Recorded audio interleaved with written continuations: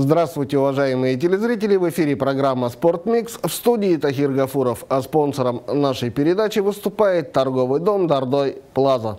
Ищете подходящий спортивный инвентарь по всему городу? Сравнивайте цены. Огромный ассортимент спортивных товаров популярных брендов для взрослых и детей. Дордой Плаза. Все для вашей спортивной семьи.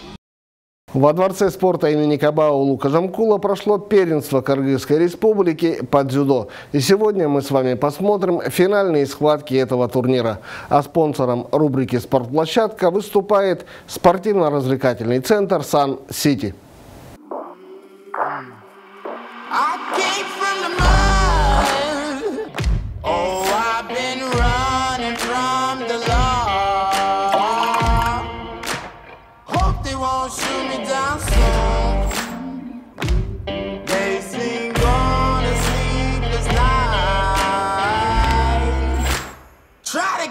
hollering out to me.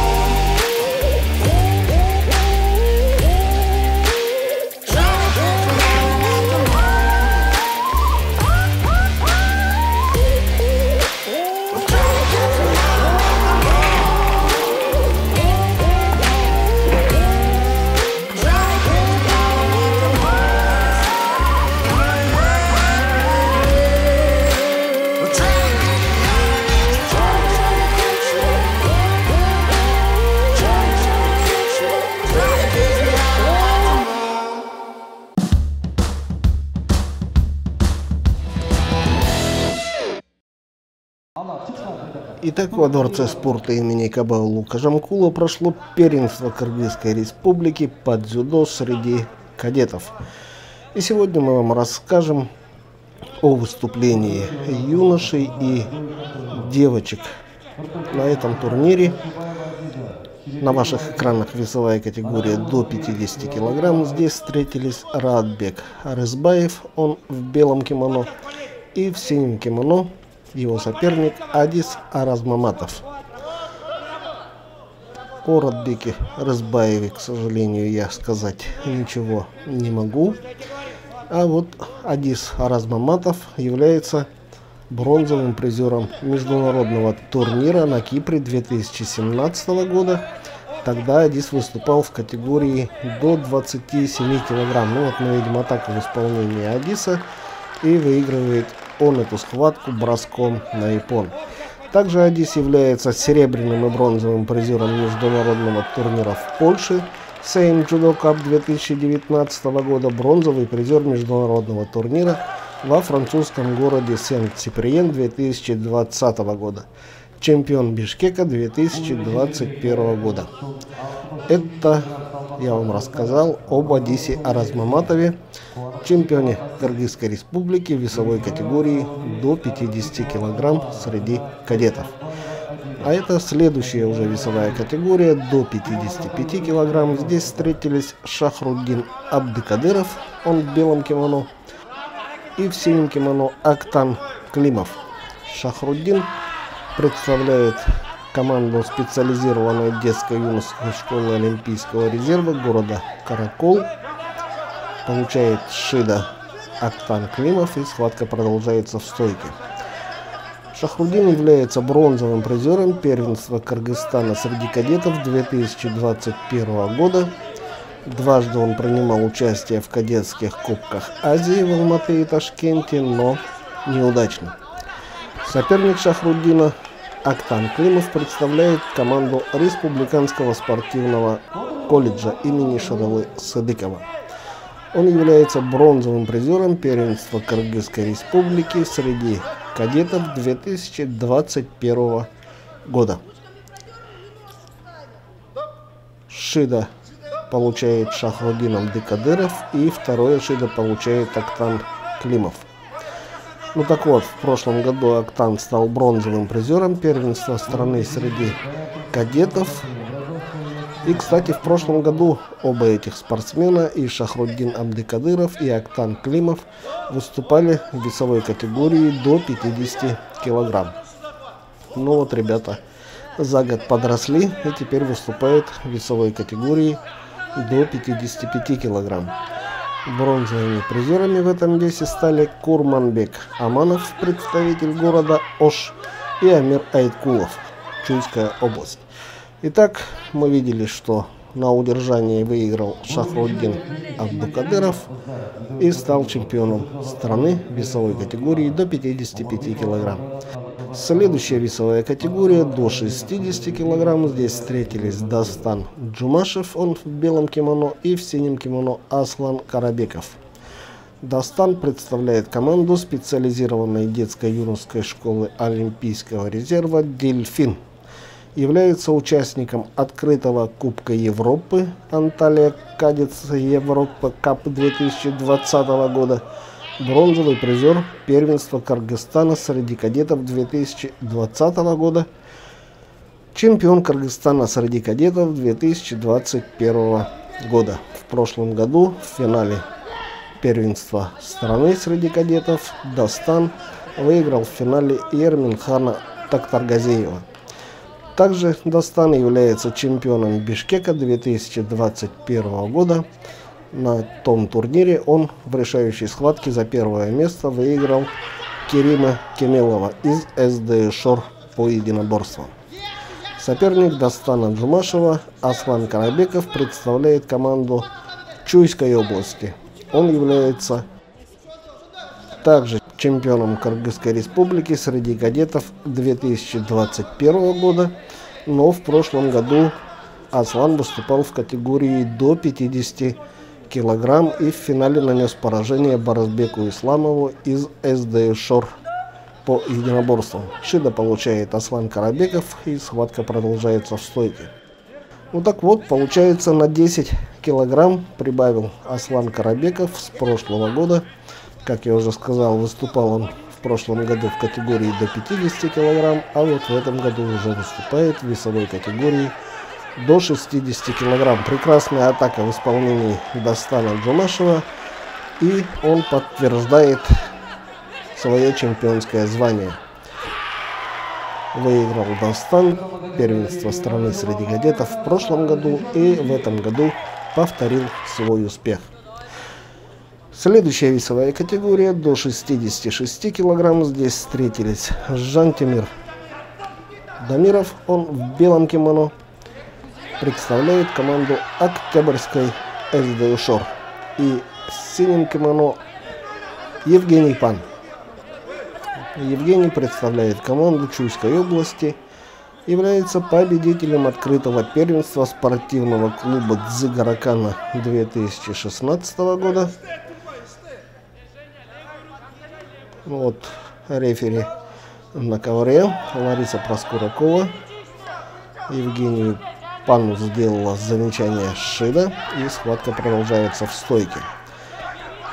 Ну так вот, Евгений Пан является бронзовым призером фестиваля дзюдо 2017 года.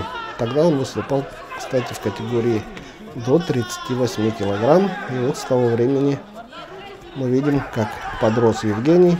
В настоящее время выступает в весовой категории до 66 килограмм. В Азаре ведет Джантимир Дамиров. Удалось ему провести результативную атаку. И борцу в синем кимоно Евгению Пану нужно что-нибудь предпринимать, чтобы переломить ход этой схватки.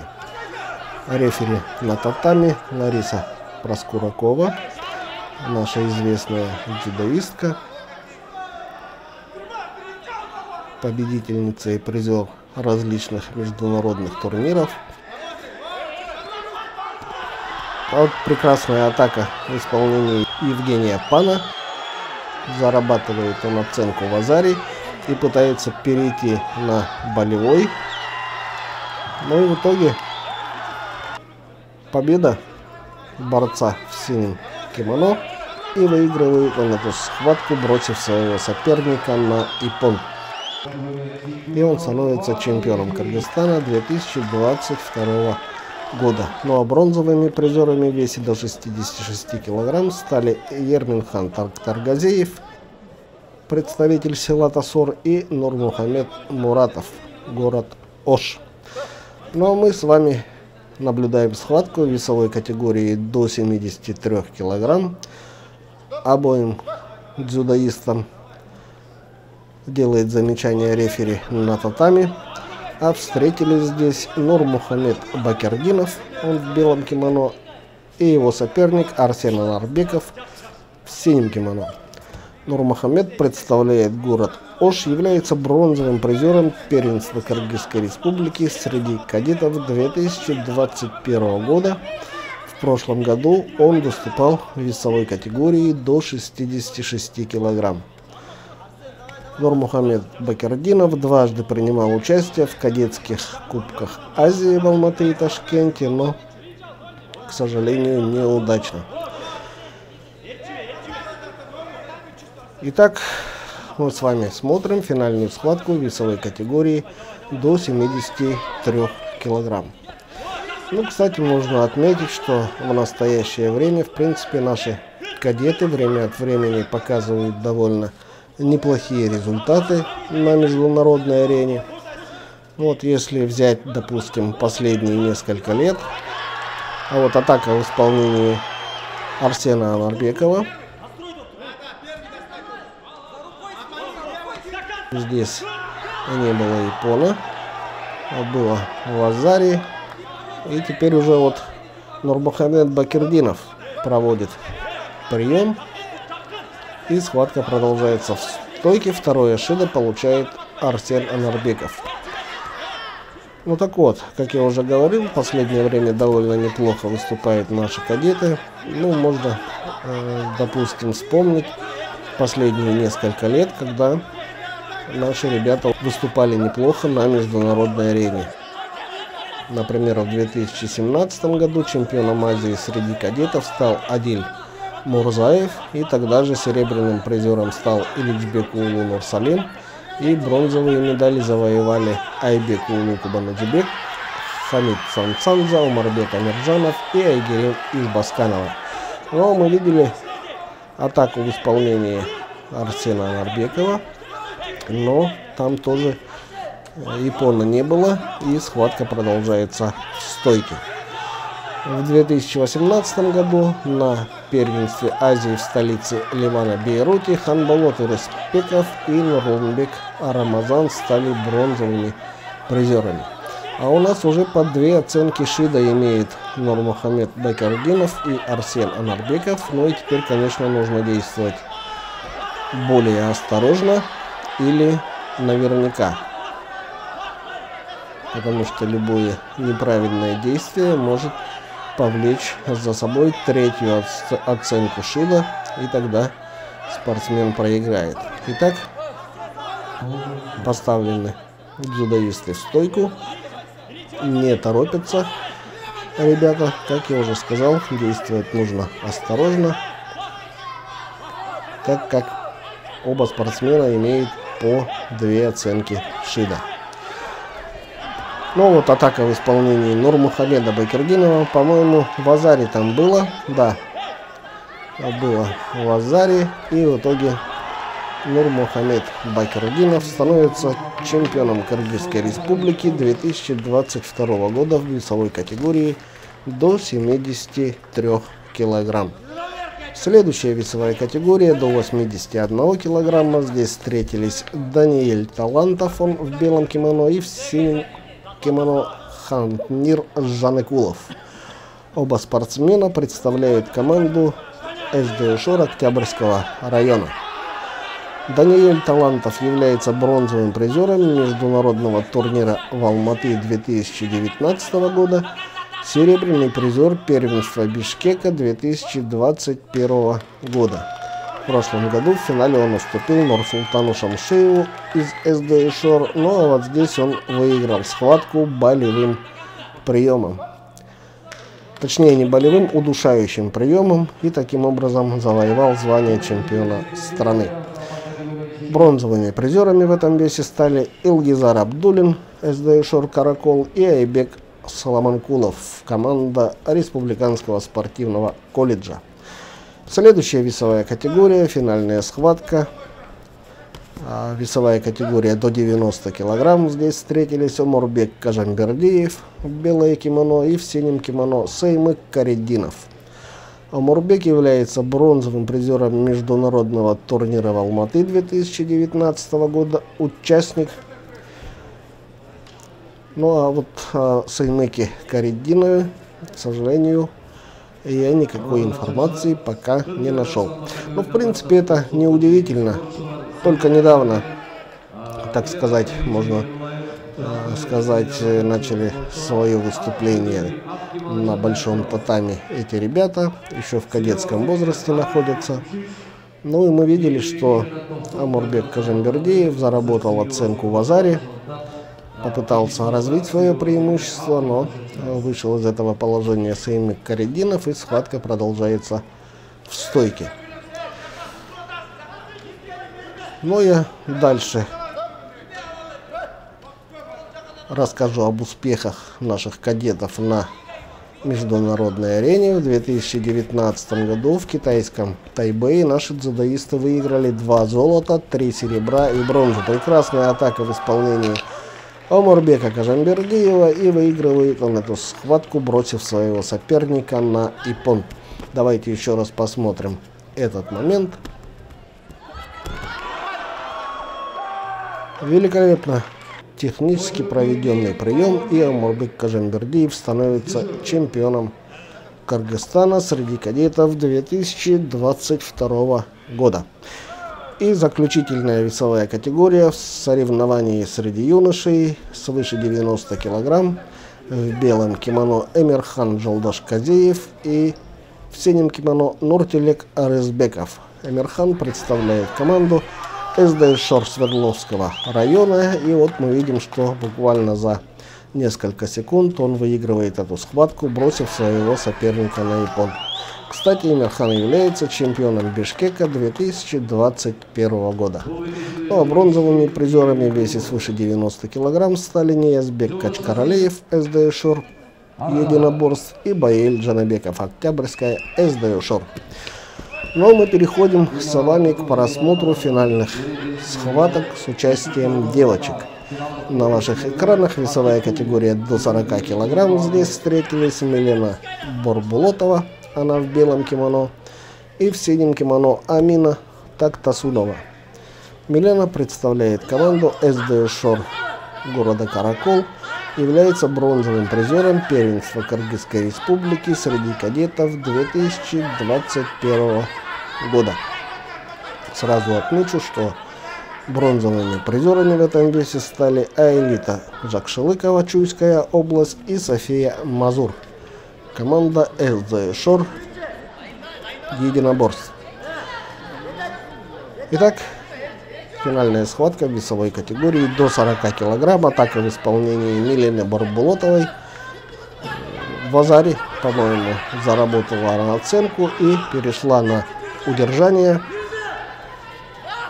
Ну и, по-моему, тяжело будет Амине Тактасуновой выйти из этого положения. Довольно жестко, так сказать, Милена взяла захват. И давайте еще раз посмотрим атаку в исполнении Милены Бурбулотовой, которая становится чемпионкой страны 2022 года.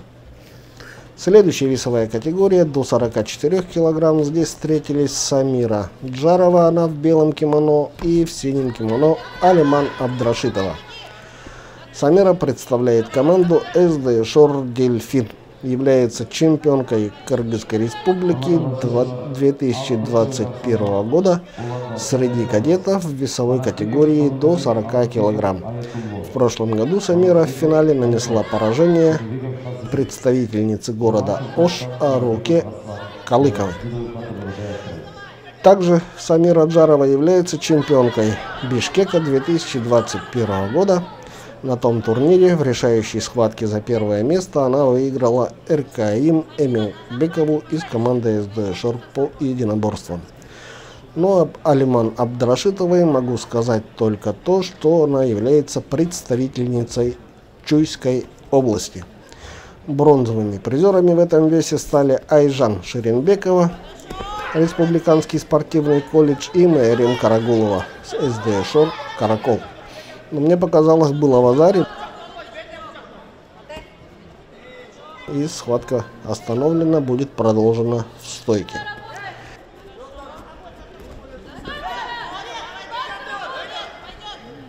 И схватка продолжается. Ну так вот, я уже начал говорить о том, что в 2019 году в китайском Тайбэе наши дзюдоисты выиграли два золота, три серебра и бронзу. Так вот, чемпионами Азии стали Хан Болот Ирызбеков и Чингисхан Сагиналиев. Серебряные медали завоевали Анарбек Ишинбаев, Ажар Исаева и Шахида Нармухамедова. И бронзовые медали удостоился Муса Шабданбеков. На Кубке Азии 2019 года среди кадетов в Алматы Шахида Нармухамедова стала обладателем золотой медали. Хан Балотыр Испеков стал серебряным призером, а Анарбек Ишинбаев и Ажар Исаева завоевали бронзовые медали. Довольно упорная у нас схватка весовой категории до 44 килограмм пытается Самира Джарова перейти на болевой прием. Но, как мы видим, хорошо обороняется Алиман Абдрашитова, не отдает свою руку. И схватка остановлена, будет продолжена в стойке. Вот непонятно, зачем побежала Алиман Абдрашитова на Самиру. Воспользовалась этим Самира Джарова и провела великолепную атаку. Вот здесь в Азаре заработала Самира. Ну а здесь уже чистая победа. Итак, Самира Аджарова, чемпионка Кыргызстана весовой категории до 44 килограмм. Следующая финальная схватка. Категория до 48 килограмм. Здесь встретились Айлина Бакытова, представительница Чуйской области. Она в белом кимоно и в синем кимоно. Сабира Кажамбердиева, воспитанница СД Шорт Дельфин. Сабира является бронзовым призером первенства Кыргызстана среди кадетов 2021 года в категории до 44 килограмм. Также Сабира Кажамбердиева является чемпионкой Бишкека 2021 года Звание чемпионки столицы она завоевала, выиграв в решающей схватке Розу Кочербаеву из команды СД Шор единоборств. Ну и бронзовым призером в этом весе стала Милана Эрнисова, СД Шор Каракол. Но мы видели, в Азаре заработала Сабира Кажембердиева и перешла сразу же на удержание. И в итоге, конечно, из этого положения трудно было выйти Алине Бакытовой. И в итоге Сабира Кажембердиева выигрывает эту схватку и завоевывает звание чемпиона Кыргызской республики среди кадетов 2022 года. С чем мы ее и поздравляем. Следующая финальная схватка, весовая категория до 52 килограмм. Здесь встретились Карина Сыдыкова она в белом кимоно и в синем кимоно Алтанай Кайчуманова. Карина представляет команду специализированной детско-юношеской школы Олимпийского резерва «Дельфин». Алтынай является воспитанницей специализированной детско-юношеской школы Олимпийского резерва «Единоборств». Бронзовыми призерами в этой весовой категории до 52 кг стали Уларбек КЗ Атланта, СД Шор Дельфин и Каяла Мантурова, СД Шор Единоборств. Но ну, мы видели, что в Азаре заработала Карина Сидыкова, сразу же перешла на удержание. И в итоге выиграла эту схватку, заработав две оценки в Азаре. Это первая оценка за проведенный прием, ну и затем удержала свою соперницу э, Жанар и в итоге стала победительницей. Следующая весовая категория до 57 килограмм. Здесь встретились Жанар Жалдошева, она в белом кимоно и в синем кимоно, Бекмамат Кызы Айсулу. Но мы видим, что атаковала Жанар Жалдошева и в итоге удалось ей захватить руку соперницы и пришлось Бекмамат Кызаясулу постучать по ноге. Жанар таким образом сдалась Бекмамат Кызаясулу, выиграла Жанар Жалдошева, проведя болевой прием. Бронзовыми призерами в весе до 57 кг стали Малика Атарбаева, Чуйская область и Рабия Барубаева, Тайманбас. А мы с вами наблюдаем финальную схватку весовой категории до 63 килограмм. Здесь встретились Адина Качканбаева, она в белом кимоно, и в синем кимоно Мэримка Китаева. Адина представляет команду специализированной детской юношеской школы Олимпийского резерва города Каракол. Рефери на татами делает замечание Мэримка Китаевой. Шида она получает, и схватка продолжается в стойке. Адина является чемпионкой Кыргызстана 2021 года среди кадетов. В прошлом году она в финале одолела Айдану Кубанычбекову из Чуйской области. Мэрим является представителем СД Дельфин, бронзовый призер первенства Кыргызстана среди кадетов 2021 года в весовой категории до 57 килограмм. Сразу отмечу, что бронзовыми призерами в этом весе стали Насип Кубанычбекова и Улара Карыбекова. Обе спортсменки представляют команду Чуйской области. В Азаре здесь, по-моему, заработала Адина Качканбаева. И схватка продолжается. Чуть-чуть не довернула свою соперницу Адина, а так могла бы заработать еще одну оценку. В Азаре пытается перейти на болевой прием на руку, но, как мы видим, хорошо обороняется Майринка Китаева. Тем не менее, удалось развернуть соперницу Адини. И в итоге перешла Адина Качканбаева на удержание и стала победителем этой схватки. Хотя вот в принципе раньше было видно, что э, рукой постучала Майринка Китаева, но схватка не была остановлена и продолжилась до конца удержания. Следующая весовая категория, финальная схватка весе до 70 килограмм. Здесь встретились Бермет Абышева, она в белом кимоно, и в синем кимоно Аделина Бакасова. Обе спортсменки представляют команду Чуйской области. Бронзовым призером в этом весе стала Аделя Айсаранкулова из Тюпа. Ну и в прошлом году, в 2021 дзюдоисты из Кыргызстана, наши кадеты, завоевали две золотые медали на Кубке Азии среди кадетов, который прошел в городе Алматы. Победителями Кубка Азии стали Адина Качканбаева и Эржан Канатбеков. Итак, удержание идет. Удалось Далине Бакасовой поймать, так сказать, свою соперницу и не удалось выйти из этого трудного положения Бермет Абышева, и таким образом победителем этой схватки стала Аделина Бакасова. Выиграла она, проведя прием на Вазаре и удержав свою соперницу.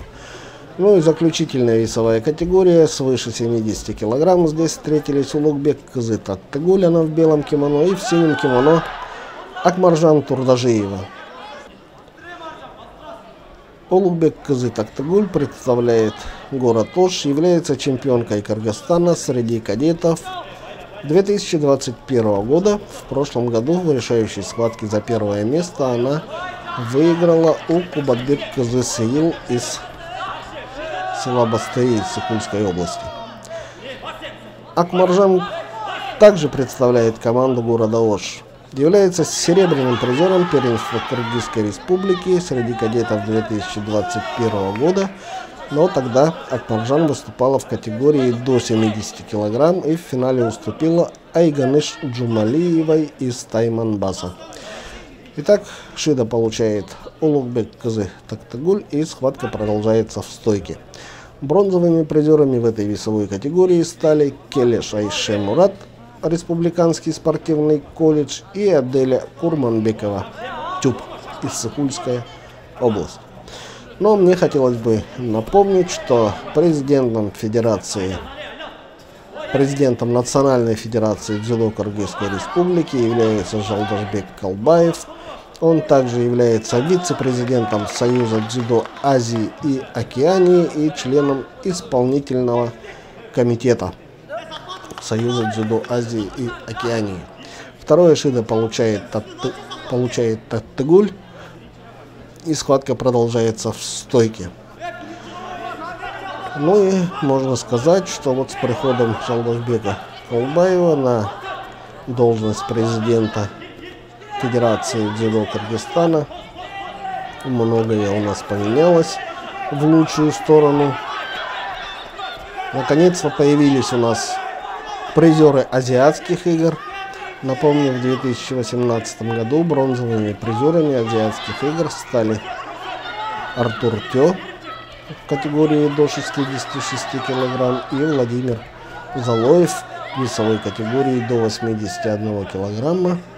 Ну и в прошлом, в 2021 году на чемпионате Азии, который проходил здесь у нас в Бишкеке, предолимпийский чемпионат Азии, у нас появился первый чемпион Азии в истории Кыргызстана.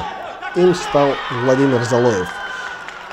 Атака в исполнении Акбаржан Турдажиевой, и она выигрывает эту схватку броском на япон.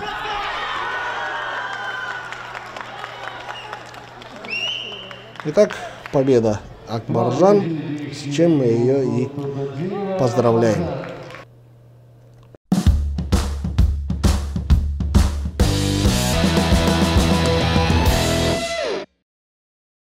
Мы желаем нашим юным дзюдоистам успешного выступления на предстоящих стартах в этом году. А сегодня у нас в гостях старший тренер кадетской сборной Кыргызстана по дзюдо Иркин Ибрагимов.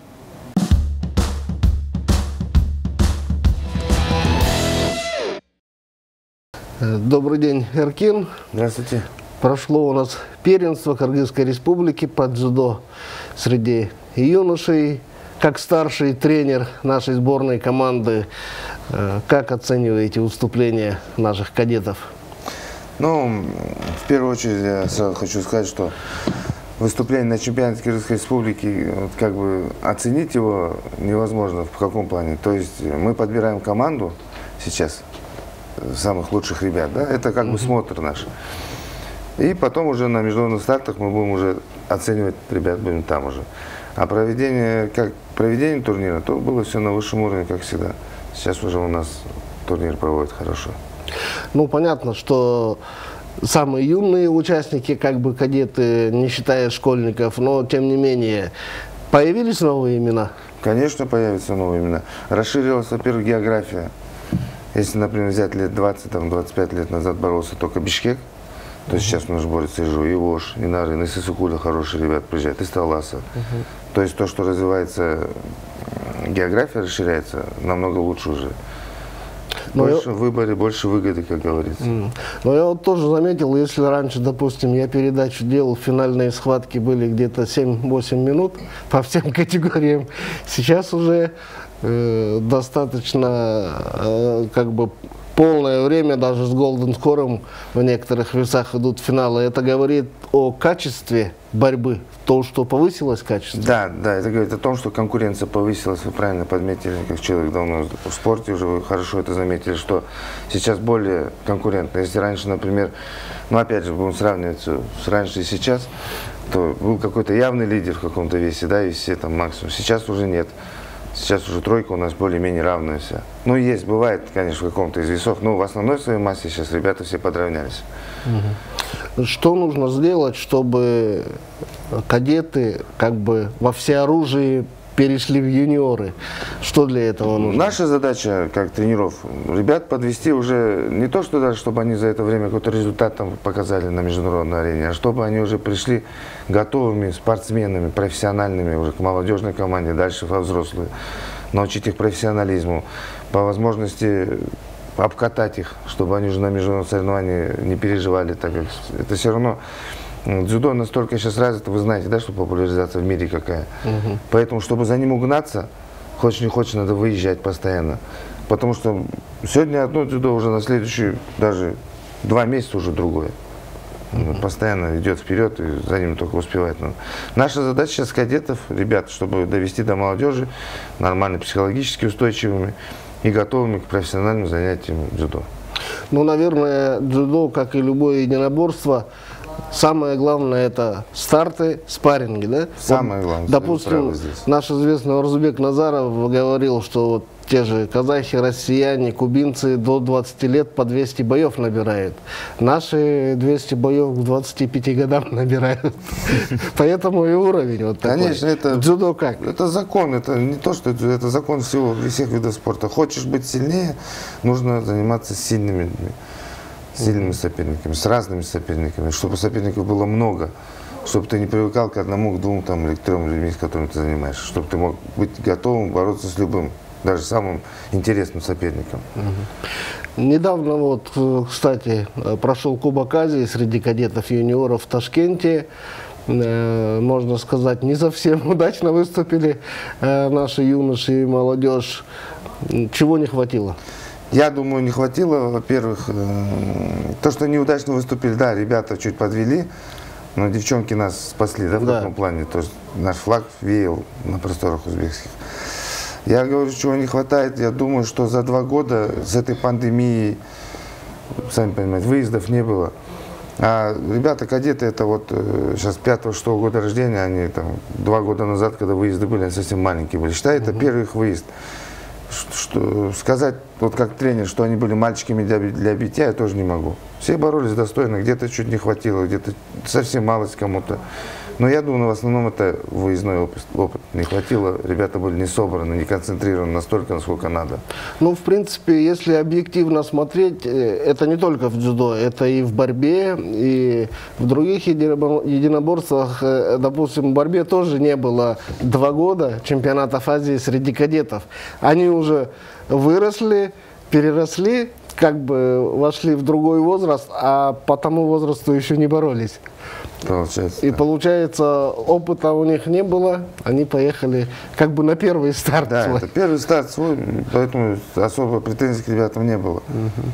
Ну, вообще, по другой, как так сказать, молодежи, по юношам, там же вот, э, по молодежи не выступали, но по кадетам были грузины, Азербайджан. азербайджанцы, да, ихняя школа как. Ну, вообще, в миро- мировом дзюдо Грузия, я считаю, сейчас идет на втором месте после Японии.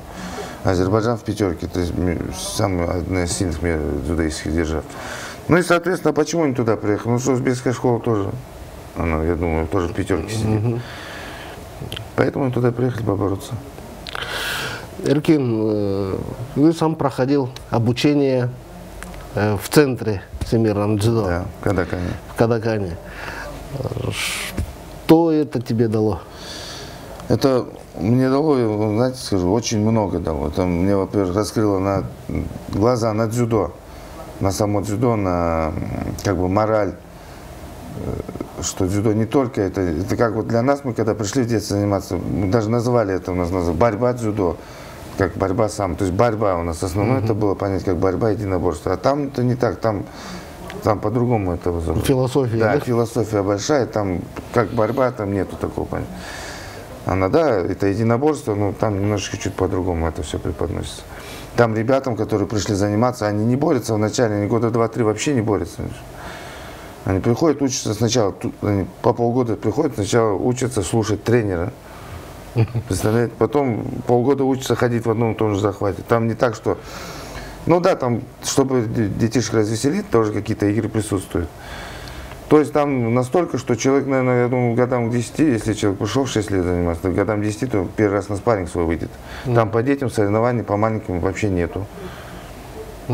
Потому что потом я разговаривал с японцами, они объясняют, так это что, ты, говорит, что для маленького мальчика 7-8-летнего выиграть это соревнование, эти соревнования, такие же он эмоции испытает, и как взрослый человек Олимпиаду выиграет.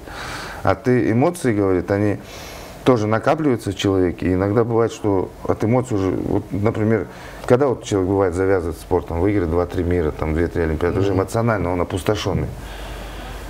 Все, поэтому ребят большим стартам начинают готовить чуть позже, чтобы они уже подходили готовыми ко всем видам, спор- ой, видам спорта, ко всем видам соревнований.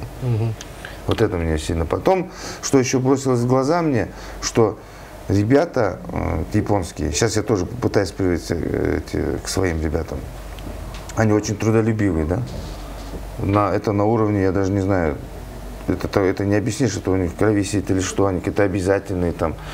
Вот там даже вы такие полненькие мальчики, там, вы видели, наверное, японцев, они все на, на лысо, а все одинаковые на одно лицо, там толстый, молодый, разницы нет. И вот он будет, ему скажешь задание выполнить, он лепешку разобьет, никто над ним не стоит, не смотрит. Он сам делает, ходит молча, старается все до конца сделать.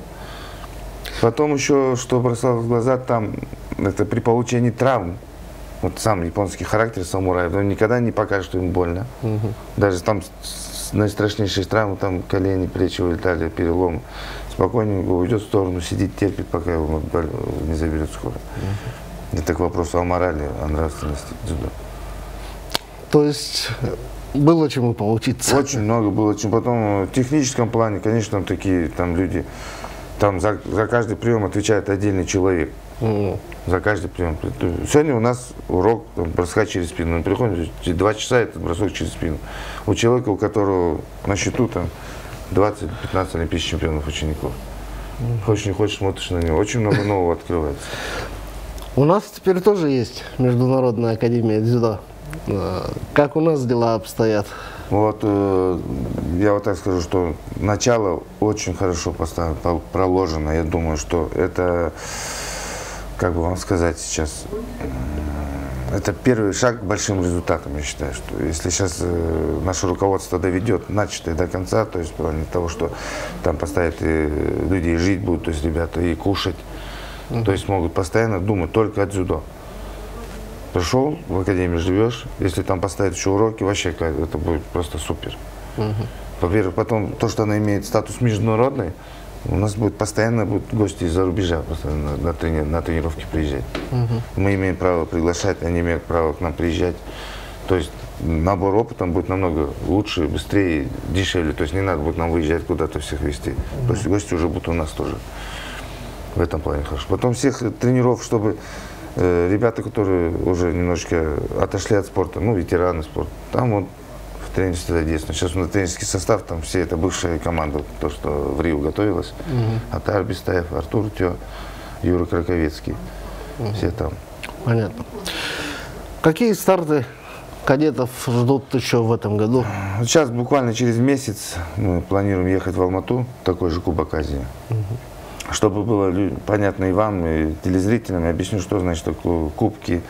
Наверное, кто не знает, это по- подводка, то есть набор очков рейтинговых чемпионату мира.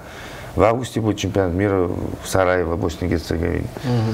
Э, Чтобы нормально отбороться там, мы должны, во-первых, это и соревновательный опыт, во-вторых, набор очков рейтинговых для того, чтобы посеяться как можно выше и чтобы с фаворитами встречаться ближе к финалу, к полуфиналу, что то есть мог бороться за медали. Это тоже очень важно. Во-вторых, эти Кубки Азии мы тоже, опять же, к рейтинговым очкам. У нас в этом году Олимпийские игры среди юношей в Дакаре будут.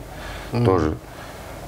Потом э, то, что ездим сюда поблизости, чтобы нам было удобнее, Ташкент, Алмата, я, мы, наша федерация планирует здесь в этом году сделать еще Кубок Азии на Искуле, у нас тоже проводится, мы имеем полное право делать. Ну и обязательно пару раз в Европу ребят свозить хороших, кто у нас там лидеры, потому что борьба разная, даже самый сильный азиат может уступить европейцу спокойно, потому что борьба другая совсем, абсолютно другая. Ты должен уметь и с теми бороться, и с теми для достижения большого результата на мировом уровне. Потому что, как бы, наверное, если любители дзюдо знают, у нас уже чемпионов Азии уже много, да, ребят? Призеров Азии тоже много. У нас призер мира только один, Саган Али Чингис. Да. И то это по кадетам, ну, впервые в истории, да. То есть, получается, у нас уже, если чемпион Азии есть, то есть логически так посчитать, Азия, дзюдо это сильнейший континент. то приз- призовые места на мире должны быть уже. Буквально, я думаю, в этом году, на следующий год, даст Бог, все, если нормально будет, мы должны дать медаль на мире. Для этого я хочу ребят свозить на Кубки Европы, на Кубки, открытые Кубки Европы. Ну, Планируем Берлин в конце мая. Вот, слетаем, э, съездим в Алмату, потом в Берлин поедем. Желаю удачи, Эркин. Спасибо большое. Ну и в завершении разговора вот можешь пару слов сказать телезрителям.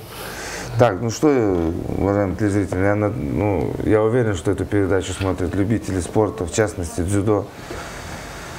Как, э, вот, например, на своем примере я вам хочу сказать, что дзюдо один раз зайдя в зал, зайдя в зал, все, я больше из этого зала до конца своей карьеры спортивной не выходил. Я уже закончил со спортом, дзюдо осталось моей жизнью. Я живу этим, жить без этого, как, ну, как наркотик, да, это мой. Все время новые ребята это как бы, как говорят, вампиры же пьют кровь. Так же и вот мы тренера, если ребенок, мальчишка хороший пришел там или девочка, все это как кровь для вампира, для нас. Все, мы да, опять нас вселяются силы. Что хочу сказать, что приводите детей в дзюдо, приводите детей в любые виды спорта. Главное, чтобы они занимались. Хуже не будет точно. А шанс стать олимпийским чемпионом есть у каждого. Все зависит от него только. От его головы. Как захочет, как будет стараться и как будет верить в себя. Все. У нас в гостях был старший тренер нашей кадетской сборной Кыргызстана под дзюдо Эркин Ибрагимов. Спасибо, что пришел, Эркин. До свидания. Спасибо вам, что пригласили. До свидания.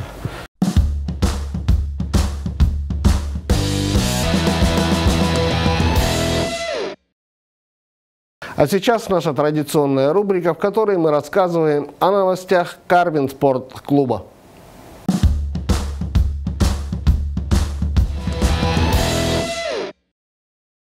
Карвин Спортклуб – это спортивный комплекс с огромным выбором направлений и услуг в сфере фитнеса и здорового образа жизни.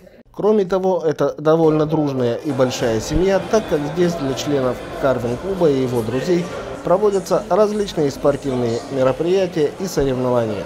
Недавно здесь прошли соревнования по художественной гимнастике под названием «Мисс Грация». Состязаниях приняли участие девочки 2013-2016 годов рождения. Сначала выступили самые юные участницы соревнований, для многих из которых эти старты стали первыми. И, конечно же, все участницы состязаний были награждены дипломами, медалями и памятными подарками. Затем свое умение показали девочки 2014-2015 годов рождения, которые выступали в группе «Б». Это Алисия Федорова, Дарья Раимбекова, Эллада Беймырзаева и Фатима Незамединова. В результате проведенных соревнований третье место заняла Эллада Беймырзаева, второе место досталось Фатиме Незамединовой и первое место заняли сразу две участницы – Алисия Федорова и Дарья Раимбекова. Следующими на старт вышли девочки группы Б 2014-2016 годов рождения. В этой возрастной категории оказалось две участницы. В итоге на верхнюю ступень пьедестала поднялась Валерия Тодорова, а Адинай Суваналиева стала обладателем серебряной медали. Далее в турнире выступили девочки группы Б 2013 года рождения. Это Раяна Колпак и далее Сайфулина и Эльдан Абакирова.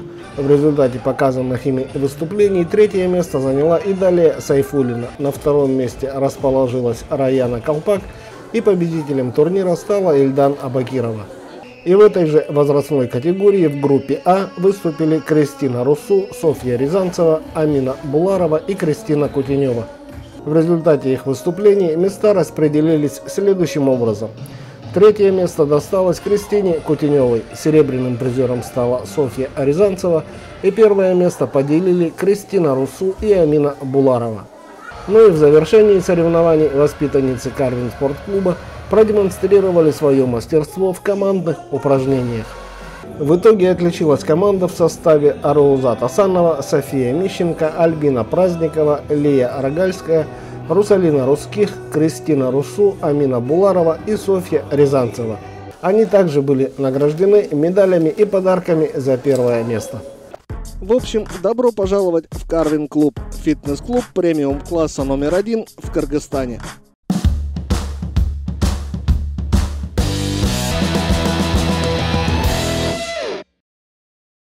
И новости спорта за прошедшую неделю продолжат наш выпуск.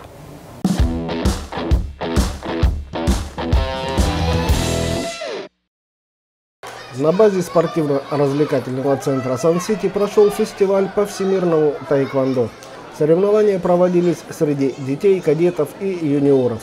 Участники фестиваля соревновались в нескольких категориях, таких как Хумсо – это обязательные комплексы, Кируги – это спарринги, а также соревнования по Зенита – это электронная груша. В нынешних стартах приняли участие около 200 спортсменов. Это представители таких спортивных клубов, как Барстек, Дрим, Жолборс, Акшумкар, Искандер, Нест, Сан-Сити, СДШО имени Радбека Санатбаева и других. Сегодняшний турнир проводит спортивно-развлекательный комплекс Сан-Сити. Я являюсь э, старшим тренером этого клуба. На данном турнире приняли участие более 200 спортсменов. Приехали команды из Казахстана, Алматы, а также Чуйской области, города Такмак. Данный турнир предназначен для сформирования сборной команды спортивно-развлекательного комплекса Сан-Сити для выступления на международных соревнованиях, таких как Корея Open, э, Монголия Open и чемпионат Азии среди кадетов. В результате проведенных соревнований среди детей победителями состязаний в своих весовых категориях стали Никита Горшенин, Сахиба Сахиева, Данил Пастухов, Дмитрий Хан и Сумая Алтымжбаева. Среди кадетов отличились Данияр Эсказаулы, Богдан Пягай, Кирилл Якушев, Эвелина Эрнст и Анастасия Бондарь. И в турнире среди юниоров на верхнюю ступень пьедестала поднялись Руслан Садыков, Али Дабысов, Тахмина Маматова, Гульжан Жаналиева и Олеся Патратия.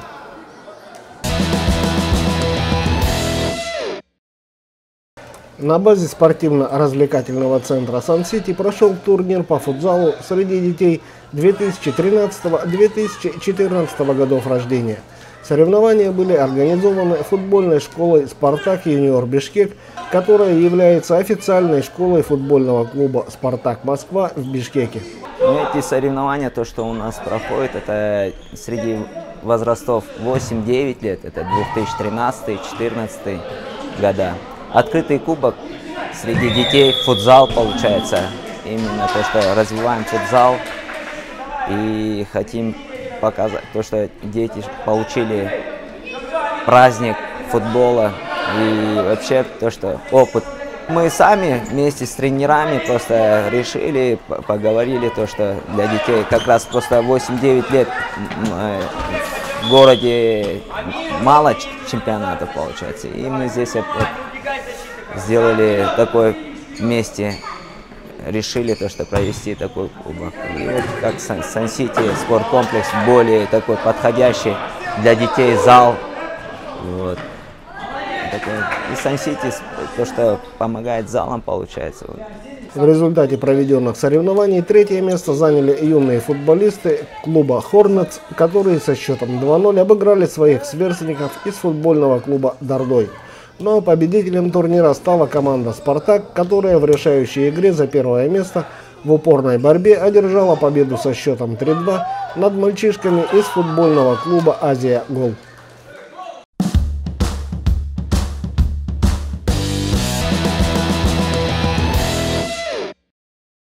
Не можете поделить телевизор дома? Второй не помогает? Восьмизальный кинотеатр в Дордой Плаза. Зал IMAX и новый зал Dolby Atmos с ошеломительным звуком. Дордой Плаза. Погрузись в другую реальность.